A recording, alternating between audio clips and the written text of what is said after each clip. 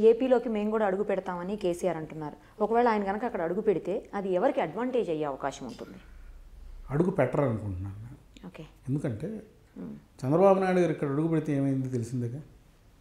అంతవరకు కేసీఆర్ గారు ఏం చేశారు ఏం చేయలేదు అని ఉన్న చర్చ చంద్రబాబు నాయుడు గారు రాగానే ఆంధ్ర వాళ్ళ పాలన కావాలి తెలంగాణ వాళ్ళ పాలన కావాలి అన్నారు. అవుట్. ఇష్యూ ఏ మారిపోయిందిగా? సో ఇప్పుడు అదే ఇష్యూ అలాగే సేమ్ రిపీట్ అయ్యే అవకాశం. కాబట్టి నిజంగా సెన్సిబుల్ ఉన్న రాజకీయ నాయకుడు కేసీఆర్ గారు.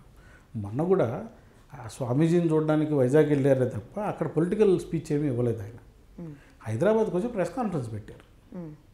ఇలాంటి ఐదు ప్రెస్ కాన్ఫరెన్స్లు హైదరాబాద్ నుంచి పెట్టి ఉంటే సరిపోతుంది. ఎలాగూ నేషనల్ ఛానల్ కానివ్వండి రీజనల్ ఛానల్ కానివ్వండి ఆయన కూర్చొని ఉన్నాడు అంటే ప్రచారం చేయక తప్పదు ఆ ప్రెస్ కాన్ఫరెన్స్ని ఇలాంటి ఒక నాలుగు ప్రెస్ కాన్ఫరెన్స్లు ఇక్కడ నుంచి కూర్చొని పెడితే that will be more wise. వెళ్ళి ప్రచారం చేస్తాను అంటే చంద్రబాబు నాయుడు పరిస్థితే పడుతుంది. నిజానికి జగన్కి ఏదైతే అడ్వాంటేజ్ అని అను- అనుకుంటున్నారో అది డిసడ్వాంటేజ్ అవుతుంది. ఓకే. అటు ఎంఐఎం కానీ ఇటు టీఆర్ఎస్ కానీ ఆంధ్రప్రదేశ్లో అడుగు పెడితే డైరెక్ట్గా ప్రచారానికి జగన్కి అన్యాయం జరుగుతుంది. అంటే ఇండైరెక్ట్గా చేసే అవకాశం ఉందంటారా అయితే? ఇండైరెక్ట్గా చేయడమే బెటర్ అంటాను. ఓకే. ఇక్కడ సంక్షేమ పథకాలు టీఆర్ఎస్ని గెలిపించాయి అంటున్నారు. అదే పరిస్థితి ఏపీలో కూడా ఉంటుందేమో? సంక్షేమ పథకాలు అమలు అవ్వలేదని కదా అందరూ చెబుతోంది. ఇప్పుడు అదే ఇందాక అన్నట్లు మేనిఫెస్టోలో చేసిన ఆరు వందల పాయింట్లు ఏవైతే ఉన్నాయో వాటిల్లో మహిళలకు సంబంధించినవి ఉన్నాయి డ్వాక్రా మహిళలకు సంబంధించినవి ఉన్నాయి పేదలకు సంబంధించినవి ఉన్నాయి వృద్ధులకు సంబంధించినవి ఉన్నాయి పెన్షన్లు కానివ్వండి ఇవన్నీ. ప్లస్ రైతుల రుణమాఫీ చాలా మేజర్ ఇష్యూగా అక్కడ ముందుకు వచ్చింది సో ఈ వీటిల్లో ఏ రుణాలకు సంబంధించి బంగారం తాకట్టు పెట్టినా కూడా విడిపిస్తాము అని కూడా చెప్పారు. సో ఇవన్నీ ఇంతవరకు ఏమీ జరగలేదు. జరిగినా కేవలం వడ్డీల మాఫీలు జరిగాయి కానీ రుణమాఫీలు ఏమీ జరగలేదు. సో ఇవన్నీ ప్రజా సంక్షేమ పథకాలు అమలు జరిగినట్ల అమలు జరగనట్ల గత మూడు నాలుగు నెలలుగా ఇప్పుడు అన్నీ ఇచ్చేస్తామని మాట్లాడుతున్నారు. మొన్నటి వరకు ఏం చెప్పారు? బీజేపీ అన్యాయం చేసింది మా దగ్గర ఫండ్స్ లేవని చెప్పారు. అంటే అభివృద్ధి లేకపోతే సంక్షేమ పథకాలు అమలు అవనట్టే కదా. అమలు అవ్వని పథకాలకు ఎందుకు డబ్బులు ఇవ్వాలి ఎవరన్నాను? లేదు ఎందుకు ఓటు ఇవ్వాలి ఎవరన్నాను? ఇది ఒక క్రక్స్ ఆఫ్ ద ఇష్యూగా జరుగుతుంది ఆంధ్రప్రదేశ్లో. మ్మ్. ప్రభుత్వం ఎంత చెప్పుకున్నా కూడా ప్రజలకు తెలుసు కదా ఏ సంక్షేమ పథకాలు వాళ్ళకి వచ్చాయో లేవు. రాలేదని అంటున్నారు. ఓకే. ఇప్పుడు ఇక్కడ పదిహేను పదహారు స్థానాలు మేము లోక్సభకి సంపాదిస్తామని చెప్పి ఖచ్చితంగా మేమే గెలుస్తామని టీఆర్ఎస్ వాళ్ళు అంటున్నారు. అక్కడ జగన్ తరపు నుంచి ఒక పదిహేను పదహారు స్థానాలు గెలిస్తే దాదాపు ముప్పై దాకా అవుతాయి. ఇవన్నిటితో కీలకమైన పాత్ర కేంద్రంలో పోషించేటువంటి పరిస్థితి కేసీఆర్కి వస్తుందా? ఖచ్చితంగా. అంటే కేసీఆర్ గారు అటు కాంగ్రెస్కి చెందకుండా ఇటు బీజేపీకి చెందకుండా ఒక స్వయం ప్రతిపత్తి ఉన్న రాజకీయాలు చేద్దాము అనే ఒక ఆలోచన అయితే తీసుకొచ్చారు. ఫెడరల్ ఫ్రంట్ అని. ఫెడరల్ ఫ్రంట్ అని.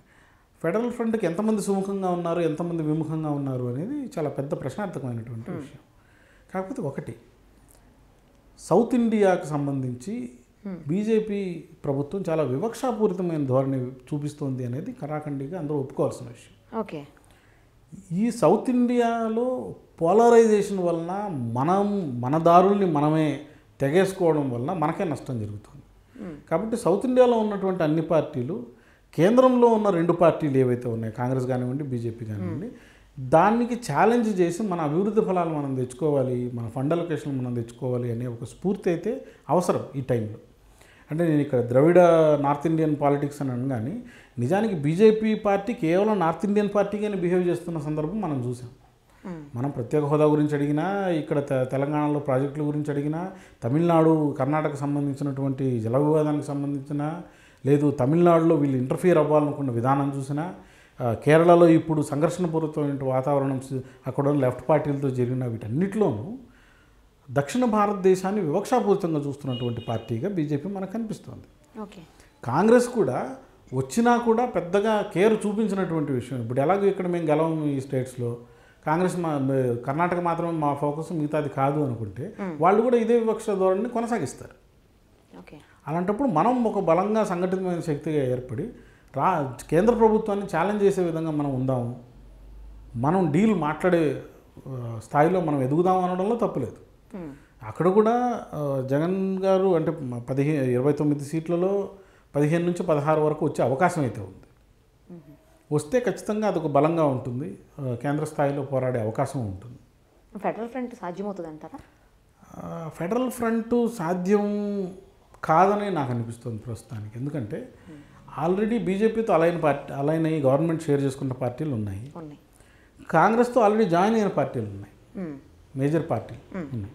కేవలం ఎస్పీ బీఎస్పీ లాంటి పార్టీలో లేకపోతే నవీన్ పట్నాయక్ లాంటి వాళ్ళు ఇంకా తటస్థంగా ఉన్నారు తప్ప తటస్థంగా ఉండడానికి గల కారణం చాలా క్లియర్గా ఉంది మనకి. మాయావతి గారు కానివ్వండి మమతా బెనర్జీ గారు కానివ్వండి ఇద్దరు ప్రధానమంత్రి అవ్వాలనుకునే క్యాండిడేట్లు.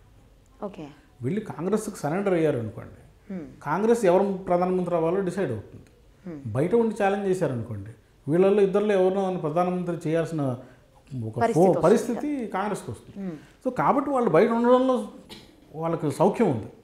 ఓకే. కానీ ఇక్కడ కేసీఆర్ గారు కానివ్వండి జగన్ గారు కానివ్వండి ప్రధానమంత్రి అయ్యే అవకాశం ఏమాత్రం లేదు కదా. అంటే కేసీఆర్ ఆ దిశగా ప్రయత్నాలు చేస్తున్నారు అని కదా అంటున్నారు. అంటే అక్కడ మాయావతి గారు ఎంత లేదన్నా డెబ్బై నియోజకవర్గాల నుంచి నలభై ఐదు నుంచి యాభై ఎస్పీ బీఎస్పీ విన్ అవుతుంది అనుకోండి ఓకే.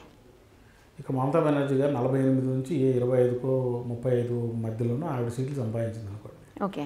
సో ఒక వ్యక్తి అంటే ఒక పార్టీ లేదు రెండు పార్టీలు కలగలిపి వాళ్ళు యాభై కన్నా ఎక్కువ సామర్థ్యం చూపించుకోగలిగితే ముప్పై ఐదు కన్నా ఎక్కువ ఎంపీలను వాళ్ళ సంఖ్యాబలం చూపించుకోగలిగితే ప్రధానమంత్రి అయ్యేదాని తా- దానికి అయ్యే అధికారం మాకు ఉంది అని ఛాలెంజ్ చేసే ఆపర్చునిటీ ఉంటుంది. ఇక్కడ పదిహేను పదహారుతో అవ్వదు కదా చెల్లుబాటు అవ్వదు కదా ఆర్గ్యుమెంట్ సో అది అక్కడ ఉన్న పరిస్థితి. అందుకని వాళ్ళకు ఉండడానికే కారణం ఉంది.